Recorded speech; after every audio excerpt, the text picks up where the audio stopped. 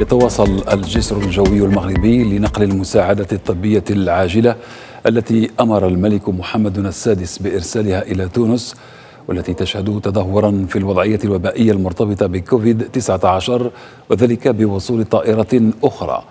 بهذا يكون العدد الإجمالي للطائرات التابعة للقوات المسلحة الملكية التي حطت بتونس قد بلغ ثماني طائرات على متنها أزيد من 103 أطنان من المساعدات. وتتكون المساعدة الطبية من وحدتي إنعاش كاملتين ومستقلتين بطاقة إيوائية تبلغ 100 سرير. كما تشمل 100 جهاز تنفس ومولدين للأكسجين.